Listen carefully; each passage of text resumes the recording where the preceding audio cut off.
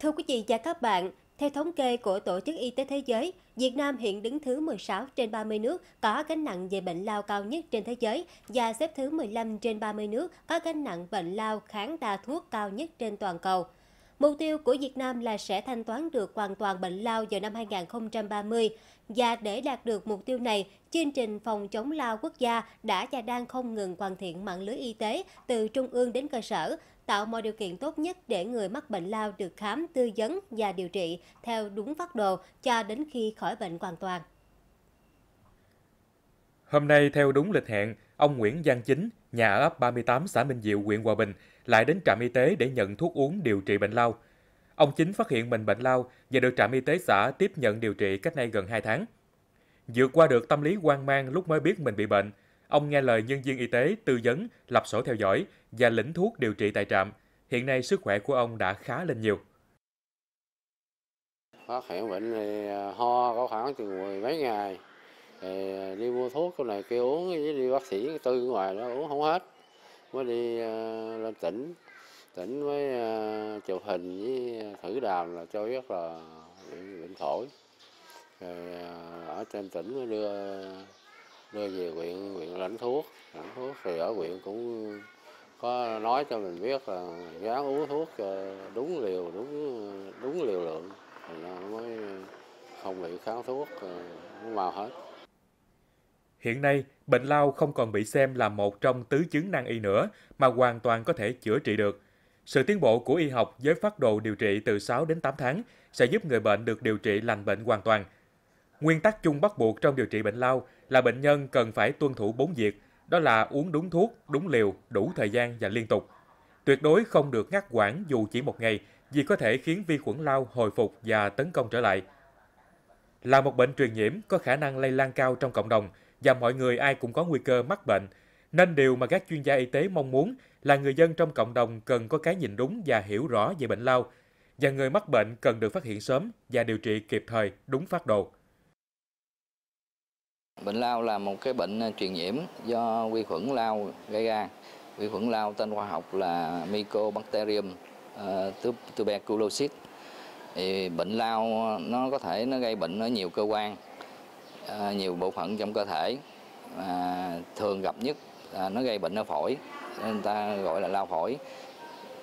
Trước giờ thì à, nhân gian người ta thường nghĩ là bệnh lao là, là đồng nghĩa với lao phổi nhưng mà thực tế là lao nó có thể nhiều bộ phận thì trong chuyên ngành lao người ta chia ra cái à, lao phổi với lao ngoài phổi lao ngoài phổi là tổn uh, vi khuẩn lao nó tấn công ở những cơ quan khác không phải ở phổi ví dụ như là lao màng não lao màng bụng hay lao màng phổi hay là lao hạch lao ờ, xương khớp lao ờ, tiết niệu sinh dục lao cuộc sống. Nó rất là nhiều cái cơ quan có thể bị lao nhưng mà cái tỷ lệ lao thường gặp nhất là cái bệnh lao phổi. Ờ, à, lao phổi nó có thể nó lây. Tức là cái cái phương thức lây truyền của bệnh lao á là thường là lây qua đường hô hấp tiếp xúc. Khi mà người bệnh lao ho khạc rồi cái người ờ, tiếp xúc có thể bị nhiễm vi khuẩn lao từ cái đường hô hấp đó. thì cái vấn đề mình ờ, khi mà mình mắc bệnh lao á khi mà mà tức là những cái người mà có khả năng bị lao á là có những cái triệu chứng nghi lao à, ví dụ như là à, sốt sốt về chiều rồi à, ho kéo dài thường là ho kéo dài trên 2 tuần rồi à, sụt cân hoặc là ăn uống kém, rồi à, đổ mồ hôi về đêm thì khi mà những bệnh nhân mà có những cái triệu chứng nghi ngờ đó, thì nên đi tới cơ sở y tế để được à, khám và phát hiện sớm bệnh lao.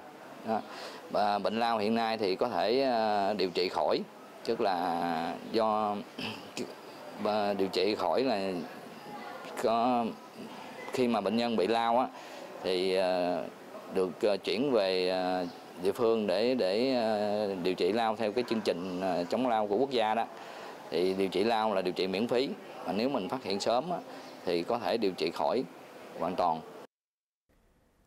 Cùng với các địa phương khác trong cả nước, chương trình phòng chống lao quốc gia cũng được tỉnh Bạc Liêu triển khai từ rất nhiều năm nay với mạng lưới y tế không ngừng được củng cố và hoàn thiện từ tỉnh đến cơ sở, nhằm mục đích tạo điều kiện cho người bệnh lao được tiếp cận thuốc điều trị lao miễn phí và điều trị khỏi bệnh, giảm tỷ lệ bệnh lao lây lan trong cộng đồng. tình hình ờ, bệnh lao ở Bạc Liêu mình thì năm 2018 chương trình chống lao quốc gia thì ờ, khám phát hiện thu nhận được trên ờ, 1.001 bệnh nhân lao các thể, trong đó có 610 ca là lao có quy trùng lao phổi có quy trùng trong đàm, đó là nguồn lây chính trong cộng đồng và cần phải loại trừ ra khỏi cộng đồng. Thì cái kế hoạch và giải pháp thực hiện của chương trình chống lao quốc gia thì nói chung thì có 7 cái giải pháp để mà thực hiện tốt trong công tác phòng chống lao. Cái thứ nhất là kiện toàn mạng lưới chống lao từ tuyến tỉnh đến tuyến cơ sở. Cái thứ hai là tăng cường công tác khám phát hiện, với hai hình thức là khám chủ động và thụ động. Thứ ba là cái công tác xét nghiệm đàm thì phải đảm bảo chất lượng để mà phát hiện bệnh nhân lao. Cái thứ tư là mình à, đã à, quản lý tốt trong công tác điều trị để ờ, tránh bệnh nhân bỏ trị để dẫn đến kháng thuốc. Cái thứ năm là đào tạo lại cho cán bộ y tế, à, đặc biệt là cán bộ phụ trách chương trình chống lao của tỉnh. Cái à, thứ sáu là tăng cường công tác truyền thông giáo dục để à, cho người dân hiểu được về bệnh lao và cách phòng ngừa bệnh lao. Cái thứ bảy là cán bộ chương trình ở tuyến tỉnh tăng cường công tác giám sát về ở tuyến dưới về công tác điều trị của bệnh nhân lao. Trong công tác phòng chống bệnh lao, y tế tuyến cơ sở sẽ là điểm tựa quan trọng đối với mỗi bệnh nhân từ khâu tuyên truyền, tư vấn về bệnh đến tiếp nhận, quản lý, theo dõi việc điều trị của bệnh nhân. Việc quản lý bệnh nhân được tuyến y tế cơ sở đảm nhiệm cho đến khi bệnh nhân được điều trị khỏi bệnh hoàn toàn. Đây là một mắt xích quan trọng trong chương trình thanh toán bệnh lao tại cộng đồng. Thì nói chung cái tình hình thu dung của năm 2018 á, thì nói chung cũng 114 ca. Thì tổng cái số mình khám được đó là 900. 900 trong đó mình làm hồ sơ thủ tục để thu dung điều trị đó là 114. Khi mà lập hồ sơ xong á thì mình chuyển về địa phương điều trị ngoại trú về tuyến cơ sở về xã coi như xã nào mình đưa về xã nấy để quản lý điều trị thì trong cái thời gian điều trị đó thì trong cái hai cái tháng đầu á, mình chia làm hai giai đoạn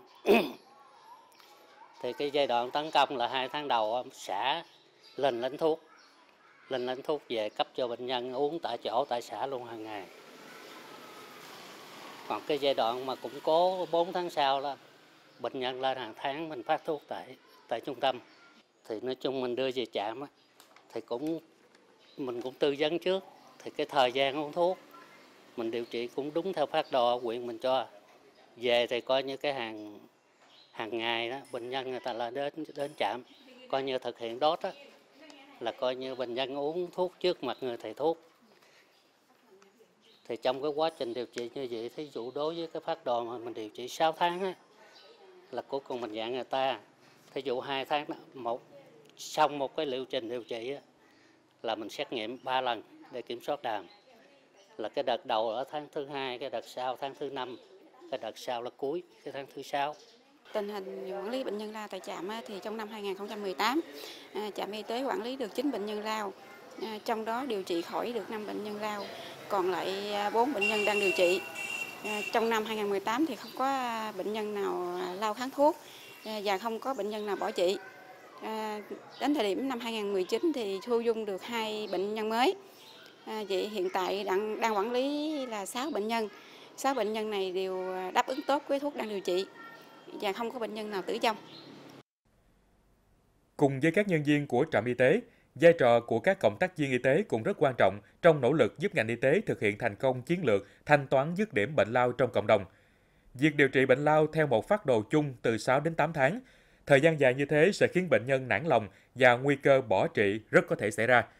Chính vì thế, sự vào cuộc của các nhân viên y tế, nhất là các cộng tác viên, trong việc quan tâm, động viên, nhắc nhở bệnh nhân theo đuổi đầy đủ quá trình điều trị là rất quan trọng và cần thiết. Thì à, trong thời gian qua thực hiện cái kế hoạch của trạm y tế xã Minh Diệu thì có triển khai là cử à, cán bộ phụ trách là xuống địa phương nắm lại cái à, bệnh nhân lao nói riêng và bệnh bú cổ tâm thần nói chung là cũng theo dõi và nắm được có danh sách báo cáo hàng tháng về trạm y tế xã để theo dõi. Thì đó là khâu quản lý, về khâu tuyên truyền vận động bệnh lao. Thì à, với vai trò là cộng tác viên áp thì chúng tôi cũng thường xuyên đến thăm hỏi và động viên, đôn đốc người bệnh uống thuốc à, đúng giờ à, nghỉ ngơi đúng cách vệ sinh cho cơ thể của người bệnh không được bỏ thuốc giữa chừng. Thì những cái nội dung mình tuyên truyền cho người bệnh, rồi ăn uống đúng đúng điều độ rồi à, nghỉ ngơi sinh hoạt à, đúng cách Ông Trần Văn Hân, nhà ở ấp Hậu Bối 1, xã Minh Diệu, huyện Hòa Bình, đã điều trị xong bệnh lao theo phát đồ điều trị 6 tháng của ngành y tế.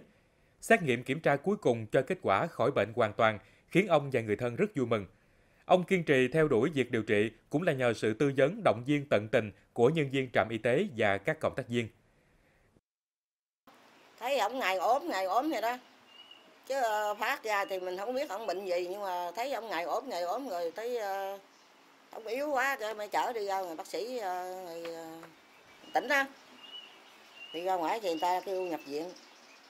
Thì người ta nói à, ông bệnh lao, lao phổi á ta cho nhập viện được đâu 6 ngày người ta mới phát thuốc kia về nhà uống uống tới 6 tháng thì ra đi siêu âm lại hai lần đi chụp hình hai lần thì người ta nói cái phổi hết rồi hay như ông Trần Giang Mót, ngụ ở ấp 33, xã Minh Diệu, huyện Hòa Bình cũng thế. Hiện ông đang điều trị bệnh lao được gần 3 tháng nay. Việc phải điều trị trong một thời gian dài có đôi lúc khiến ông nản chí, nhưng nhờ sự động viên của nhân viên trạm y tế, sự thăm hỏi thường xuyên của các cộng tác viên nên ông vững tinh thần điều trị hơn nữa, dù hoàn cảnh kinh tế rất khó khăn, nhưng thuốc điều trị được chương trình cấp miễn phí nên ông cũng yên tâm. Tháng tôi lãnh uống lần thì sức khỏe thì nó có thể là ờ, bớt bớt nhiều mà cái, cái, cái, cái nó trả lại một cái sự bình thường nó chưa chưa chưa đúng chưa bằng là như ngày là mình chưa bệnh. Lao là một bệnh truyền nhiễm do vi khuẩn lao gây nên. Vi khuẩn lao gây bệnh ở cả người lớn và trẻ em ở bất kỳ bộ phận nào trong cơ thể, trong đó lao phổi là thể lao phổ biến nhất, chiếm từ 80 đến 85% tổng số ca bệnh và là nguồn lây chính cho những người xung quanh. Người mắc lao phổi khi ho, hắt hơi, khạc đờm bừa bãi sẽ bài tiết vi khuẩn ra môi trường xung quanh. Vi trùng lao có thể rơi xuống đất hoặc lơ lửng trong không khí. Khi đó, người lành hít phải sẽ dẫn đến bị nhiễm bệnh lao. Có khoảng từ 5% đến 10% số người bị nhiễm lao khi có các yếu tố ảnh hưởng xấu làm cho sức đề kháng của cơ thể giảm sút, như lao động quá vất vả, ăn uống thiếu thốn, sống thiếu vệ sinh, nhà cửa ẩm thấp, không thông thoáng, người nghiện ma túy, người nhiễm HIVS, trẻ em bị suy dinh dưỡng, người mắc bệnh đái tháo đường. Những người nghi mắc bệnh lao thường hay có một số dấu hiệu sau. Ho kéo dài trên 2 tuần, ho khan, ho có đờm, ho ra máu, gầy sút cân, mệt mỏi, kém ăn, sốt nhẹ về chiều, ra mồ hôi trộm ban đêm, đau ngực, đôi khi khó thở. Khi có những dấu hiệu trên, mọi người hãy đến các cơ sở y tế tuyến huyện để khám và phát hiện sớm bệnh lao. Bệnh lao có thể chữa khỏi hoàn toàn nếu được phát hiện sớm, điều trị kịp thời và tuân thủ dùng thuốc theo đúng hướng dẫn của chương trình chống lao. Thuốc điều trị lao được cấp miễn phí trong cả quá trình điều trị.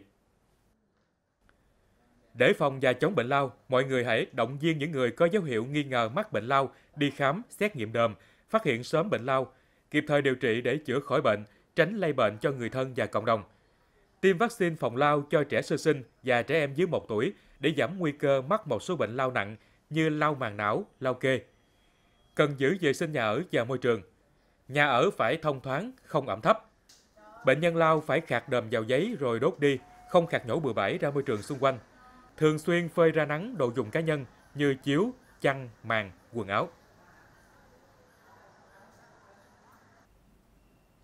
Chuyên mục sức khỏe cho mọi người kỳ này kết thúc tại đây. Cảm ơn sự quan tâm theo dõi của quý vị và các bạn. Chào tạm biệt và hẹn gặp lại quý vị và các bạn vào những chuyên mục kỳ sau.